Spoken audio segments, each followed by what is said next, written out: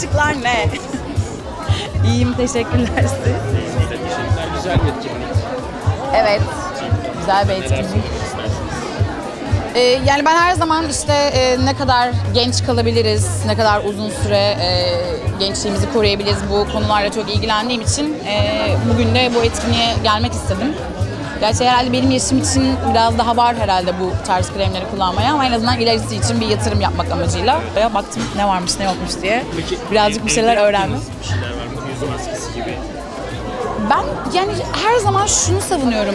Ee, ben kendimi hem gerçekten e, böyle iyi araştırmalar yapan ve iyi ürünleri farklı şekillerde bir araya getiren güvenilir markaların da ürünlerini kullanmaya özen gösteriyorum.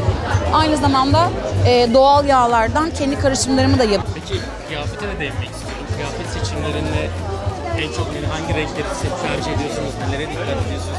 Benim açıkçası sürekli tercih ettiğim bir şey yok. Yani genelde böyle çok kafama göre e, davranıyorum. O gün ruh halim neyse ona göre giyiniyorum.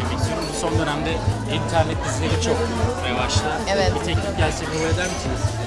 Şu anda zaten dizilerle ilgili e, görüşmelerimiz var. İşte filmim zaten geçen ay çıkmıştı. Şimdi yeni bir film çekimine başlayacağız. İnternet dizileri de evet bu aralar e, bayağı şeyde, revaçta. Eğer güzel bir proje olursa olur. Eğer siz birinin hayatını canlandırmak isteseydiniz bu kim olurdu? Ay güzel soru ama şu anda buna hazırlıklı değilim. Bakalım düşüneyim ben bu soruyu.